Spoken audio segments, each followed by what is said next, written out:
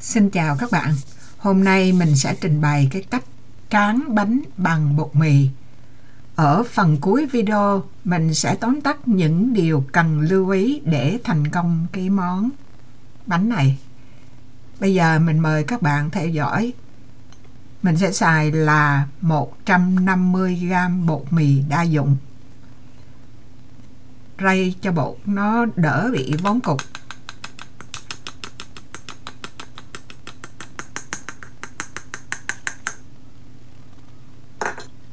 xong rồi thì mình đổ do cái lượng nước là gấp đôi lượng bột so với trọng lượng.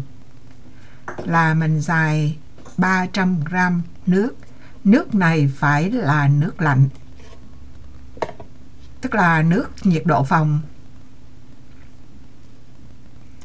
Mình khuấy cho bột với lại nước nó đều với nhau xong rồi thì bỏ vô. 1 phần tư muỗng muối. Phần đó các bạn không thấy, tại vì mình bỏ trước rồi. Đây là mình set up cái à, cái steamer hả? Để mình hấp bột hấp bột á. Để cho chắc à, cái bột mình nó mịn á, thì mình bỏ qua cái rây để có cái cục bột nào thì mình cũng chà cho nó rớt xuống luôn.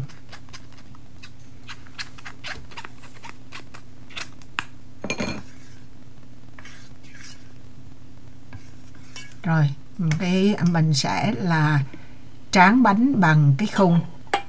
Khung thì non stick cũng được.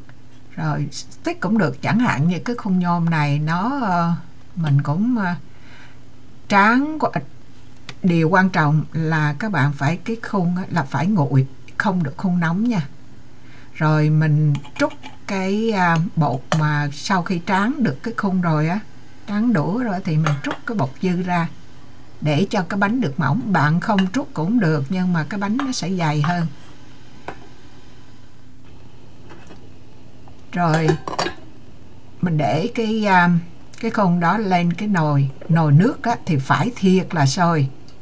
Rồi à, mình à, mình làm kiểu này á, thì các bạn thấy mình không có cần đậy nắp. Mình nấu cho đến khi cái bột đó nó trong ra là được. Và mình thấy nó nổ bong bóng bong bóng. Từ từ rồi mình sẽ chiếu kỹ cho các bạn thấy. Bạn thấy nó ờ, màu nó từ từ từ đó nó loan ra.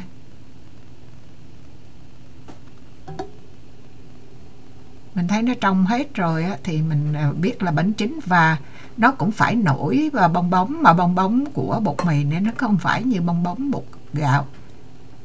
Nó nhỏ lắm.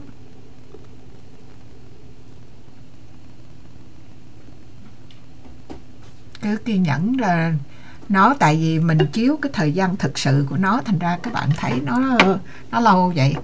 Chứ um, chưa tới thì phút à nước phải sôi như vậy đó. Rồi mình lấy cái này xuống mình để cái kia. Bạn có kiệm cũng phải là hai ba cái khung như vậy để khi mình đổ bột vô. Còn không nếu mà khung nóng mà bạn đổ bột vô hả là bạn không có tráng được. Sau khi mà mình lấy bánh xuống rồi á thì mình quét dầu ăn lên cái mặt nó lên cái mặt bánh á. Mình để cho nó nguội rồi mình mới đổ cái à, lớp bột khác. Cứ tiếp tục làm như vậy. Mình khử khử này để mình lấy ra. Bạn cũng không cần chờ nguội để lấy ra. Cái cái à, bột mì nó nó dễ làm lắm nó không có dính như là cái bột gạo. Đó cái ráng tráng phải hai ba cái không mới được chứ một khung là làm không kịp tại vì nó mau chín lắm. Rồi nó dư thì đổ ra. Nếu không đổ ra cũng được. Rồi cái tre này trong á bạn thấy luôn cái dấu mấy cái dấu xước ở dưới cũng thấy luôn á. Cái này xuống mình lấy cái kia lên. Như vậy á, là bạn thấy non stick hay là stick cũng được ha rồi lát mình sẽ thí nghiệm cho bạn coi, bỏ cái chảo lên làm luôn cũng được. Nó không quan trọng. Nhưng mà những cái điều mà cần lưu ý là những cái điều khác. Bạn thấy, để ý nó, cái cái bánh nó từ từ nó trong á.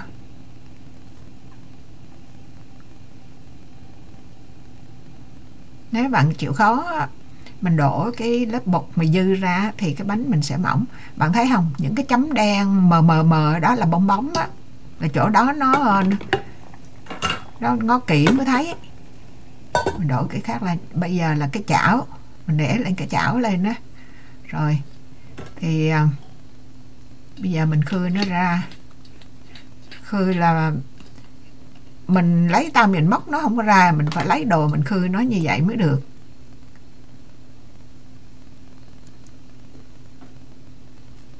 Mình làm thực tế đây là mình làm 300 bột, chứ không phải là trăm rưỡi, nhưng mà mình cho công thức các bạn là một trăm rưỡi thôi, để cho các bạn làm thử có được á, thì mới làm tiếp, chứ nện qua một đống là làm không được, cái là mất ờ, hư bột.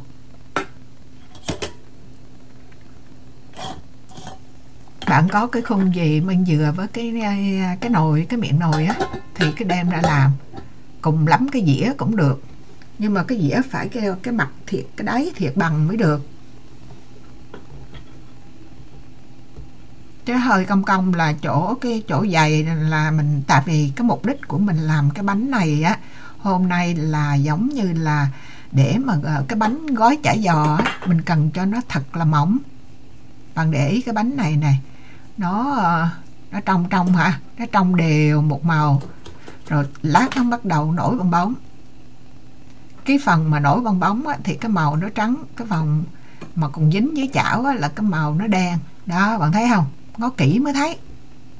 Đó thấy là bong bóng nó nổi kiểu đó thôi. Như vậy là bạn nghĩ là chắc chắn là cái bánh mình đã chín rồi. Chứ nó không có là rõ rõ rõ kiểu vậy á. Thì cái bánh chưa chín. Rồi cái này mình làm cái chảo lên. Mình tráng mà đó, để bằng để mình cho các bạn thấy này để lên bếp, cái chảo nóng rồi, tráng không được. Đó, có dấu liền, thấy không? Nó không có thể nào một lớp mỏng khi mà cái chảo đã nóng rồi. Thành ra các bạn lưu ý nha. Đổ vô, muốn cho cái bánh mỏng là cái không phải là nguội. Thì mình phải lên nghiêng qua nghiêng lại, bột nó mới chảy được. Chứ còn không thôi, cái loại bột mì này nó dính cứng ngắc cho liền á, mình gỡ không được cái tỷ lệ nước mình xài với cái bột mình á, có thể bạn hơn chút hơi yếu hơn chút cũng tùy. Là nó là một bột, hai nước. Này, cái này, đó, mình nghiêng qua, tại vì cái chảo nóng rồi nghiêng không được cái là một chỗ dày, chỗ mỏng liền à.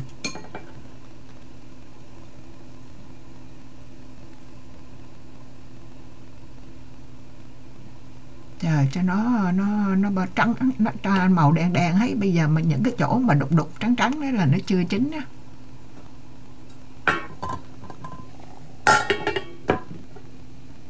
Cứ vậy đó, xong cái này cái đổi cái kia cái mình ra là ba cái khung. Đó, nó làm nhanh không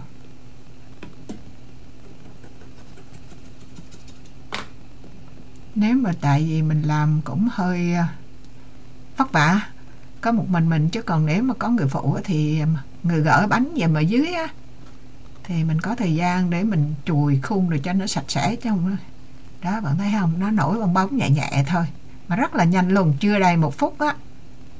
Đó, cái bong bóng á, các bạn nhớ kỹ đó, để khi mà các bạn làm, bạn thấy là bánh nó chín. Nếu mà có bánh mà bạn chưa chín mà bạn gỡ ra là mình cúng nó bị rách liền à. Nó bở liền.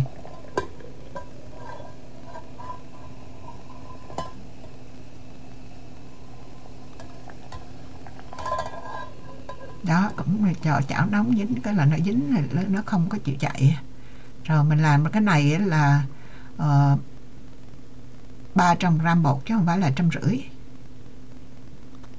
Đó mình đưa cho các bạn coi cái nếu mà các bạn khéo tay hơn mình á với lại đúng cái uh, chịu khó mà tráng khi chảo nguội á là cái bánh mỏng như vậy đó. Chứ cái bánh đầu tiên thì hơi dài hả? Cái bánh này mỏng hơn này còn có cái bánh mỏng nữa. Nhưng mà bánh mỏng nữa thì nó khó một cái là mình phải gỡ ra liền. Bạn để lâu là nó dính vô luôn ở trong chảo gỡ không được luôn. Cái này là bonus thôi. Làm ram quảng nam là mình làm tôm với thịt với hành thôi đó, mình xài cái này rồi mình nướng air fry. Mình cũng không muốn chiên dầu. Rồi phần nữa là cái bánh, cái vỏ nó hơi bị ướt á. Nếu muốn phải để khô khô sơ sơ.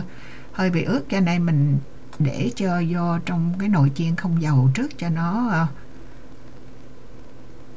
cho nó khô cái vỏ nữa.